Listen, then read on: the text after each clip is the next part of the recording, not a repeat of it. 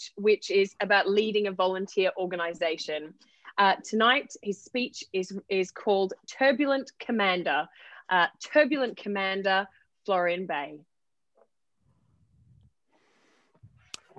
It was a beautiful day in May 2019. The sun was shining, and I was on my way to Gatwick Airport in a train packed with holiday makers. Just like them, I was tired and blurry eyed and excited too, and pumped heavy metal music through my headphone to keep the energy levels up. However, unlike them, I wasn't flying off on holidays or perhaps meeting some exotic stewardess that has flown from far away in Hilton Gatwick Airport for a date. Nope. I was going to spend the whole day in a meeting room in this, uh, in this hotel with the, my Toastmaster team. It was the start, the almost effective start of my year as district director. And the title of my presentation that day said it all making District 91 number one, turning District 91, Southern Britain, into the best Toastmasters district in the world. The team got on board with, uh, got on board with the vision, and we quickly went to work. We put together an innovative board game to kind of get people entertained and learning in, what we had in mind in a fun, uh, in a fun and creative way at the suggestion of, of one of the team members, we got some professionals to do the communication for us paid for a venue and paid for the professional camera crew to take some videos that we would be spreading far across the internet, something we'd never been done before. And whenever there was an event, whenever something happened, myself and the team were on call, giving some pep talks, handing out some awards, handing out some badges, handing out some, some ribbons, the year was going really, really well indeed. It was the culmination of multiple years of work as a Toastmaster leader coming together.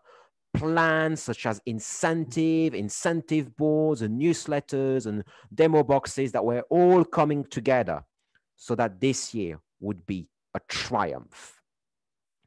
I set out to lead from the front and I crisscrossed the district, racking up thousands of rail miles, going from Exeter to Canary Wharf and from Maidstone to Maidenhead.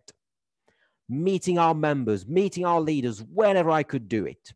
One of my favorite memories of the year actually is sitting on a train that was on a single, on a picturesque single track railway line through the rolling green hills of Wiltshire. And, I, and it, amidst that beautiful scenery, I was just busy going through the couple of dozens of emails that I had received that day. I loved it. Everything was going according to plan. And at the halfway point, it came time to say to the wider team in that same room in Hilton Gatwick Airport, hard we done? Were we on track to become number one in the world?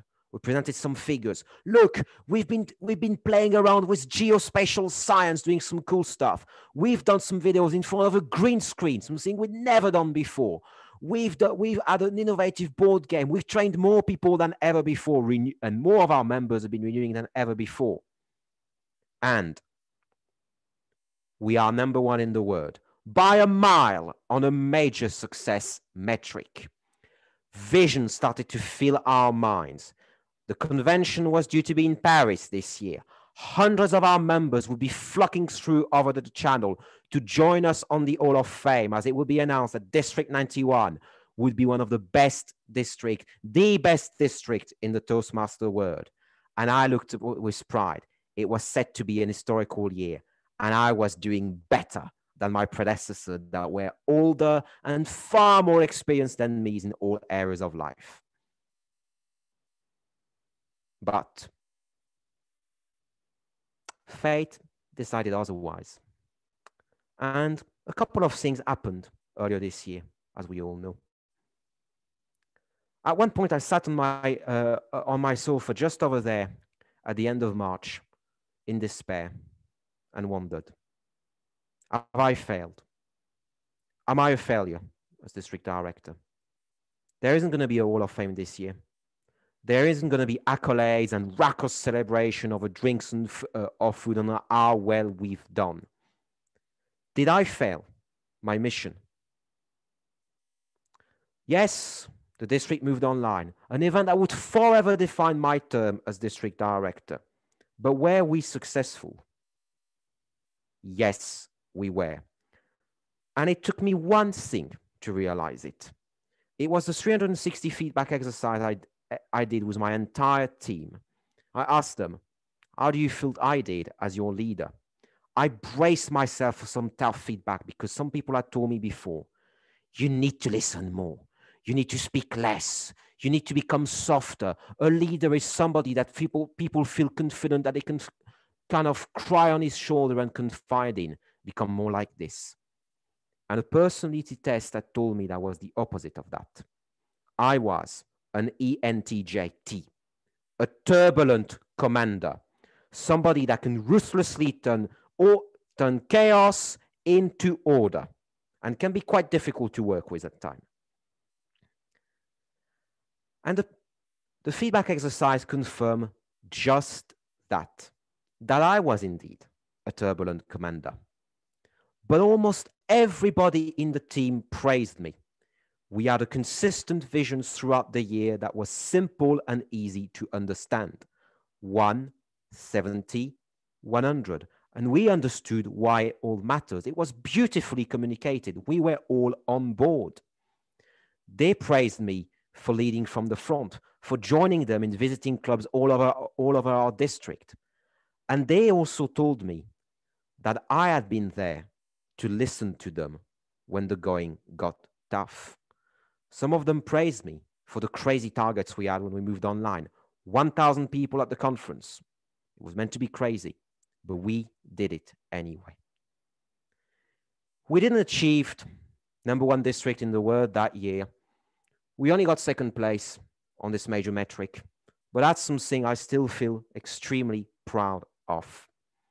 And I learned in my year as district director the best leadership lesson that nobody had given me until then.